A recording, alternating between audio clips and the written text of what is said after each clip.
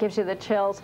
Turning to uh, more local issues, it looks like the Islanders could use a miracle on ice, and here's Mike Zimmet. Definitely. One quick thing I want to mention, Kenny Morrow, as you know, used to play for the Islanders, was a member of that Olympic team. I went to his house to do a story. He took out the gold medal and showed it to me. You know where he kept it? With the dishes in his closet. it was that important to him. But yes, the Islanders are now winless in their last five games. At the Coliseum this afternoon, the Islanders fought back from a 3-0 deficit. They tied the Red Wings at three. Now, Pat LaFontaine, who suffered a swollen hand in Pittsburgh on Thursday, did not play. He is out indefinitely.